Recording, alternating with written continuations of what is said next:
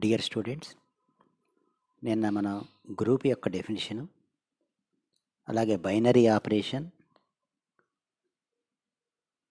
Binary ఆపరేషన్స్తో ఉన్న కొన్ని sets కొన్ని కాంపోజిషన్ టేబుల్స్ ఇవన్నీ కొన్ని ఎగ్జాంపుల్స్ చూసాం. ఇవాళ వాటి గురించి క్లియర్గా మరికొన్ని విషయాలు తెలుసుకుందాం. ఇప్పుడు చూడండి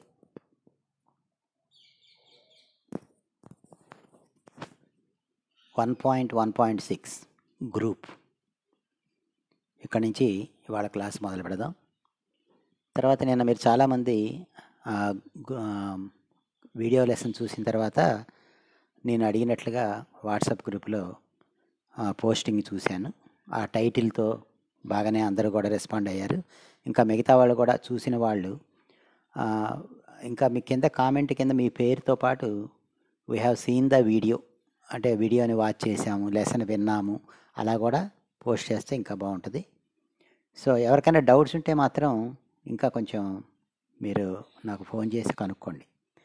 కొన్ని రోజులు ఒక రెండు మూడు రోజులు పర్వాలేదు కొంచెం వినండి. అలవాటు అవుద్ది కొత్త కాబట్టి ఇలా ఆన్లైన్లో పాఠాలు వింటాం కొత్త కాబట్టి రెండు మూడు రోజుల తర్వాత అప్పుడు కొంచెం అర్థమైతే పర్వాలేదు అర్థం కాకపోతే అడుగుదిగా ఇప్పుడు చూడండి డెఫినేషన్కి రండి.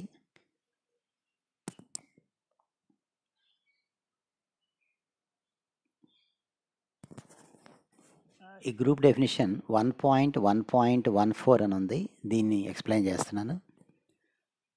An algebraic structure an algebraic system G dot where G is an non empty set and dot is a binary operation on G is said to be group if చూడండి. ఆల్జిబ్రాయిక్ సిస్టమ్ జీ డాట్ అంటే అందులోనే G అనేది ఒక non empty set అని dot అంటే binary operation అని అర్థం. దాన్నే మనం ఆల్జిబ్రాయిక్ సిస్టమ్ అంటాం. ఆల్జిబ్రాయిక్ సిస్టమ్ జీ పక్కన డాట్ పెట్టాడు. మధ్యలో కామా పెట్టాడు చూడండి. జీ డాట్ అనేది ఒక బ్రాకెట్లో రాసాం. దాని మీనింగే G is a non empty set and dot is a binary operation. అలా కాకుండా వాడు మళ్ళీ ఎన్ ఆల్జిబ్రాయిక్ స్ట్రక్చర్ అయితే an algebraic system G dot where G is a non empty set and dot is a binary operation on G ఈ set to be group అన్నాడు.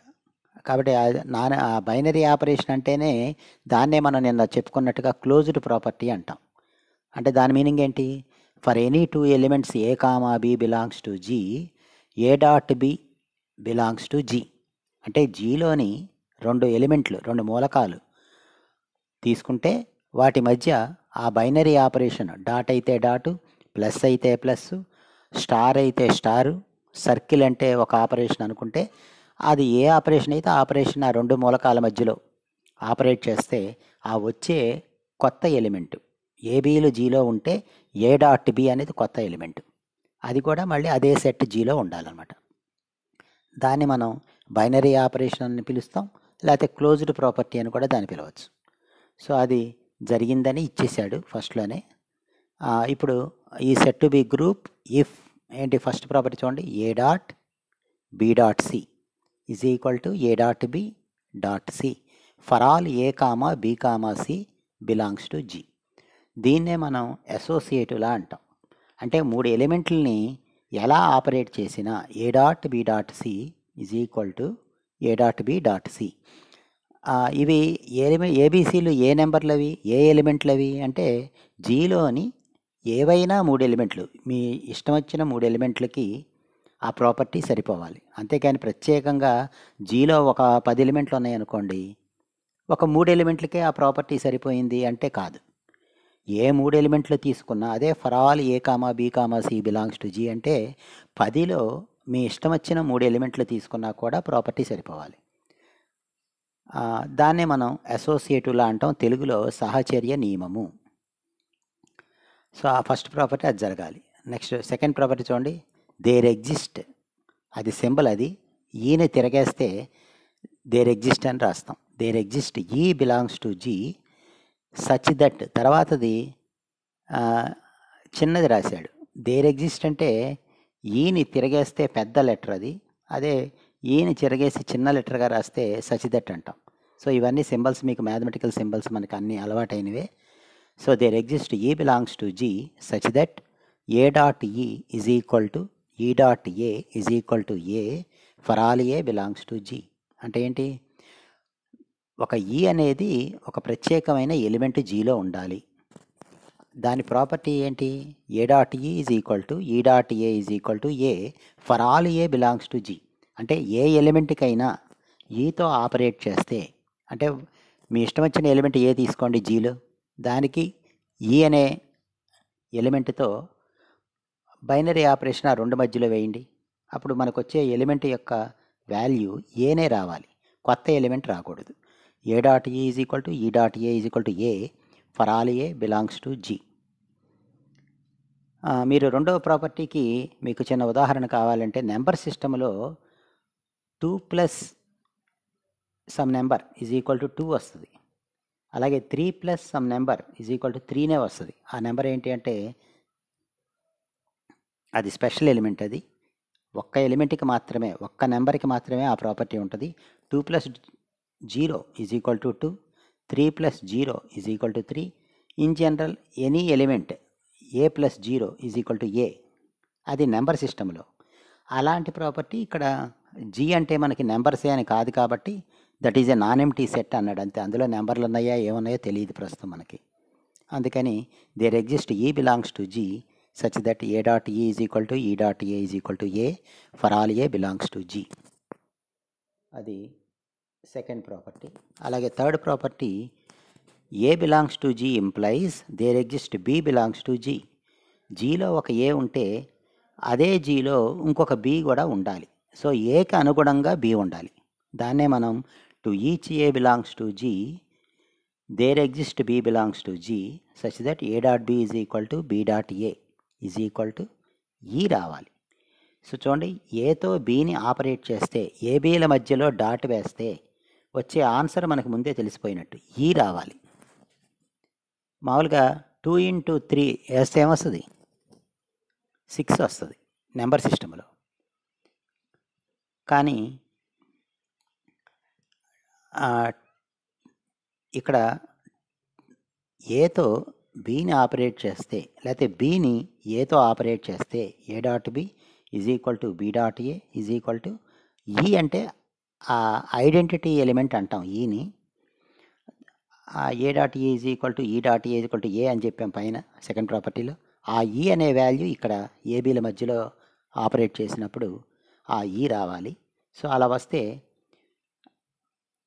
ఆ ప్రాపర్టీని మనం ఇన్వర్స్ ప్రాపర్టీ అంటాం. A dot b is equal to b dot a is equal to e. అలా వస్తే దాన్ని inverse property అని చెప్తాం. సో ఏ యొక్క ఇన్వర్స్ బి అని బి యొక్క ఇన్వర్స్ ఏ అని కూడా చెప్పచ్చు. సో ఇది సింపుల్గా మనకి గ్రూప్ యొక్క డెఫినిషన్. సో ఫైనల్గా మళ్ళీ ఇంకోసారి చూడండి. గ్రూప్ అంటే ఏం చెప్తాం? ఒక నాన్ ఎంటీ సెట్ జీ ఉండాలి. అందులో ఒక బైనరీ ఆపరేషన్ డాట్ ఉండాలి. మూడు ప్రాపర్టీలు సాటిస్ఫై చేయాలి. అంటే యాక్చువల్గా టోటల్గా చూస్తే నాలుగు ప్రాపర్టీస్.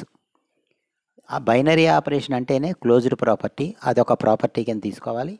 మిగతా మూడు ప్రాపర్టీల్లో మొదట చూడండి a dot b dot c is equal to a dot b dot c అది అసోసియేటివ్లా అలాగే there exist e belongs to G such that a dot e is equal to e dot a is equal to a for all a belongs to G అలాగే మూడో property for a belongs to G there exist b belongs to G such that a dot b is equal to b dot a is equal to e so మొదటి ప్రాపర్టీని associative property అంటాం రెండవ ప్రాపర్టీని identity property అంటాం ఆ మూడవ ప్రాపర్టీని inverse property అంటాం. అదే చూడండి ఇక్కడ చెప్పుకున్నాడు. Note one note two note three అని చెప్పాడు. అందులో ఆ ఫార్ములాల పేర్లు ఆ ప్రాపర్టీ పేర్లు రాశాడు.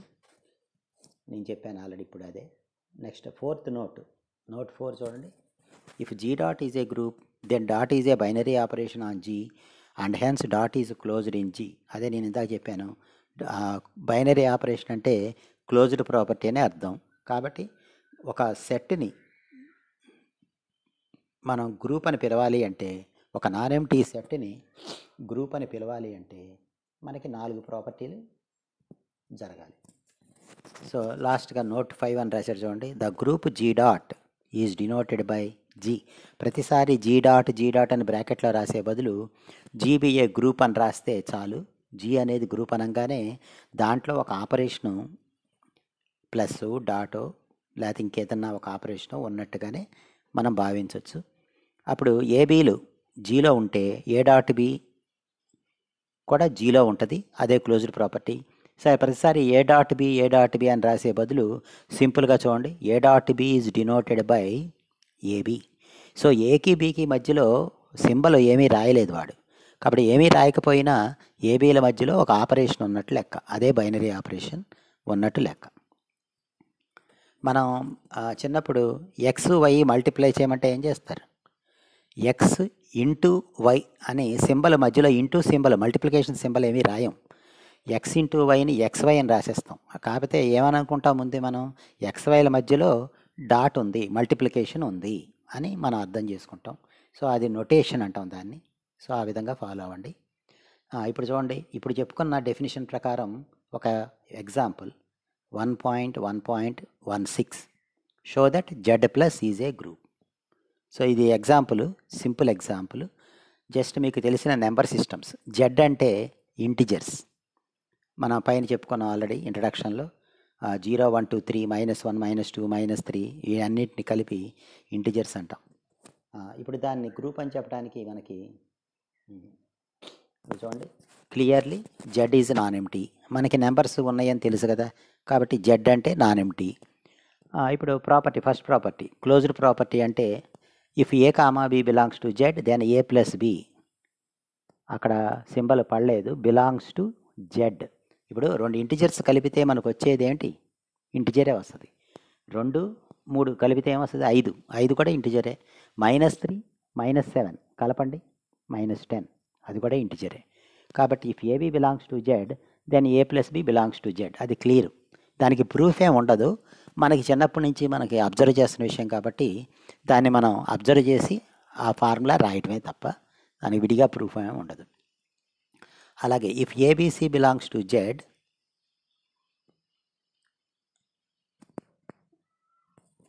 then we know that a plus b plus c is equal to a plus b plus c and hence plus is associative in Z ఇది కూడా మీకు తెలిసిన విషయమే. చిన్నప్పటి నుంచి మీరు మూడు నెంబర్లు కలపండి అంటే మీరు ఏ ఆర్డర్లో కలిపినా ప్రాబ్లం లేదు. ఏ ప్లస్ బీని కలిపి వచ్చే ఆన్సర్కి సీని కలపచ్చు. లేకపోతే బి ప్లస్ సిని ముందు కలుపుకొని దానికి a plus b plus c లాగా కూడా కలపచ్చు. ఎలా కలిపినా వాల్యూ ఏం మారదు. Two plus three plus four ఎంత అంటే two plus three five five plus four nine. లేదు two plus three plus four అంటే త్రీ ప్లస్ ఫోర్ ముందు కలుపుకోండి సెవెన్. దానికి టూ కలపండి నైన్. ఏదైనా ఒకటే ఆన్సర్. సో దాన్ని అసోసియేటివ్లా అంటాం. మూడవ ఫార్ములా అదే ఐడెంటిటీ ప్రాపర్టీ. మీ ఇష్టం వచ్చిన ఏ తీసుకోండి. Let a belongs to Z then clearly ఇది కూడా వీ నో దట్ అని రాసేయచ్చు. మీకు ఏకి జీరో కలిపితే ఎంత వస్తుంది? ఏనే వస్తుంది.